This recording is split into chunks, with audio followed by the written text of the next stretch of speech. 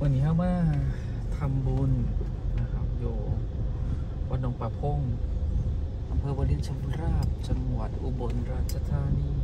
นะครับเนื่องในออนมาฆบูชานะครับเดี๋ยวมาทำบุญกันนะครับ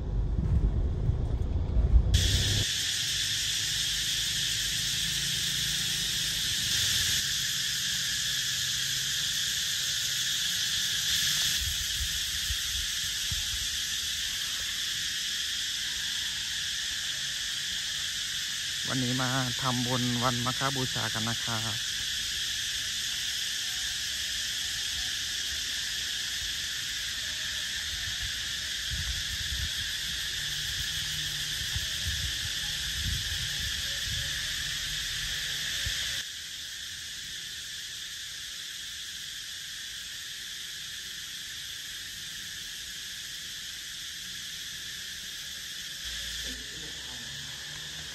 พิพิธภัณฑ์